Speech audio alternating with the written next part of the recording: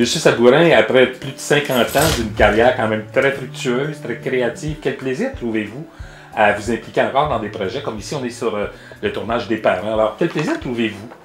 Ben, ça, c'est formidable, parce que déjà, il y a un plaisir dans ma face. J'ai un toupet, j'ai tout ça, parce que c'était pour une photo dans un cadre. Mhm. Alors donc, euh, il y a toutes sortes de plaisirs de se déguiser, de jouer des rôles, de...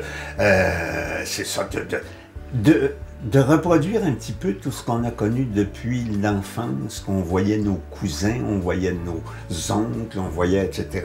Tiens, tel, tel, tel, tel caractère. Alors, il y a déjà ce plaisir-là de se servir un petit peu de tout ça, de mettre ça, de bien brasser avec sa propre personnalité, avec son propre physique, évidemment, je peux pas faire un nain, par exemple, et euh, de bien brasser ça, et puis de rendre un personnage qui finalement sont différents les uns des autres, mais se ressemblent aussi un peu, malheureusement. On ne peut pas s'enlever complètement de, du jeu qu'on fait et on le regrette. On essaye de s'enlever le plus possible, mais non, on reste tout le temps le même. Ça, c'est plate parce qu'on aimerait, les, les acteurs, le rêve d'un acteur, ça serait vraiment, d'entrer dans la peau d'un personnage, de devenir comme, comme si tu étais le personnage, comme si.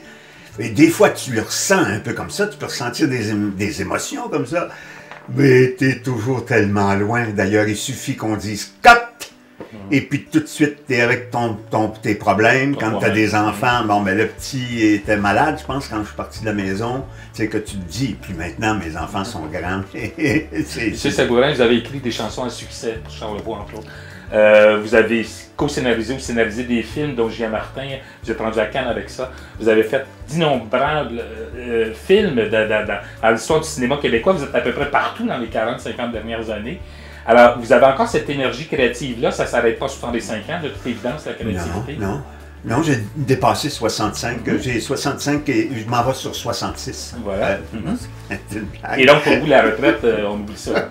Ben oui, ben pour la plupart des comédiens, pour la plupart des écrivains, pour la plupart des peintres, entendez-vous, avez-vous déjà entendu parler d'un peintre qui prend sa retraite? C'est- inimaginable. Ça ne se...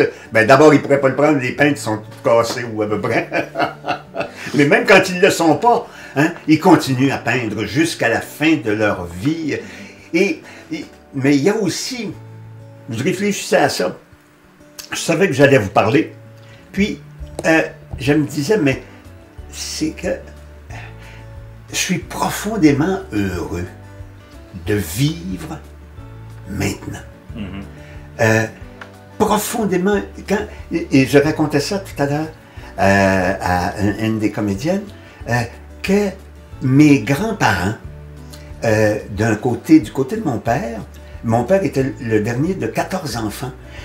Et il est né en 90, en 1890. Il m'a- conçu, il avait 45 ans, ma mère avait 35. Alors, ma grand-mère, donc, et mon grand-père avaient eu 14 enfants avant de l'avoir en 90. Donc, probablement, tout probablement, j'ai pas regardé la date de leur naissance, mais ils sont nés avant la guerre de sécession Ah, des. États-Unis d'Amérique. Il y avait à ce moment-là le télégraphe qui commençait à peine, il y avait la vapeur, il y avait le train qui commençait à peine, et il y a eu la mitrailleuse qui a été inventée pendant la guerre de sécession, et c'est à peu près tout de ce qu'on connaît aujourd'hui. Or, en si peu de temps, de mes grands-parents à moi-même qui ne suis pas encore mort, eh bien, j'ai connu toutes, toutes, toutes, toutes, toutes, toutes les inventions qui ont été faites depuis et du non, de la non-automobile, on est allé jusqu'à l'automobile qui se dirige d'elle-même. Même on m'apprenait tout à l'heure que les automobiles, maintenant, ils en font là qui vont Ouais, ouais. s'envoler comme les avions, puis revenir par terre, puis etc., puis etc. Et puis, avec l'aviation qui a commencé longtemps, longtemps après que mes grands-parents soient nés, et bien, même après que mon père soit né, eh bien, l'aviation, Hubble est dans l'univers.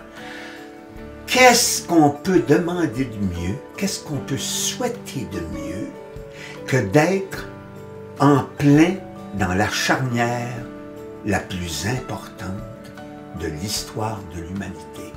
La Renaissance, l'époque du, du- du- du début du christianisme, l'époque grecque, les Perses, tout ça peut aller se rhabiller. C'est rien du tout comme charnière, comparé à ce dans quoi on vit, ce dans quoi vous vivez là derrière, ceux qui regardent. Trouvez-vous, c'est vrai qu'on a.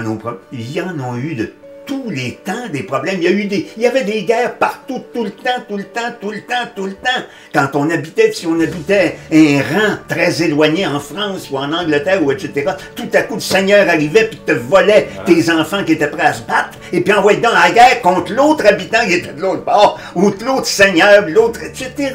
C'était tout le temps le même. Puis les maladies, le monde mourait, faisait 16 enfants et puis il y en avait trois de réchappés. Et euh, les, les pauvres femmes qui étaient poignées avec tout ça, puis etc., etc. Le malheur était... Alors, il y a toujours beaucoup de malheurs, il y a toujours beaucoup de guerres, il y a toujours beaucoup de gens qui meurent, il y a beaucoup de gens qui ont peu à manger, il y a les, les changements climatiques. Mais s'il vous plaît, un petit peu d'optimisme! Je dois être en train de péter le, le- le- le micro, mais c'est vraiment ce que je ressens, ce que je dis, ce que je crie à l'intérieur de moi. Alors, je suis profondément heureux d'être là-dedans. Et je suis prêt à mourir en vous parlant, ou dix minutes après, ou dans mon sommeil cette nuit. M'en sac, j'ai une vie formidable, puis tout, bon, c'est extraordinaire. Et puis, les changements climatiques, le monde va faire comme pour les guerres. Le monde va faire comme pour les temps difficiles, comme pour les famines. Ils vont se cracher des mains. Puis il y en a-tu du monde intelligent? Il y en a-tu du monde brillant, puis du monde travaillant, puis du monde qui vont faire comprendre à ceux qui comprennent pas le bon sens? Et puis, on va avoir raison de ça aussi. Sauf que je ne serai plus là. Je pourrai pas revenir pour crier Ouais! Le but du Canadien! Mais non, ça serait la Coupe Stanley. Mais évidemment, c'est pas fait, puis il faut travailler très fort. Mais pour travailler très fort, faut pas trop écouter les actualités et les gens déprimants. Parce que moi, j'ai jamais vu quelqu'un de bien déprimé travailler très fort Non, c'est sûr. il perd ses moyens mentaux, il perd ses moyens physiques. Alors donc, recevons ce qu'il y a de triste, ce qu'il y a de dur, essayons d'aider et soi-même et le monde, et en étant heureux, ben là, on va avoir de l'énergie pour on va relever les défis, etc.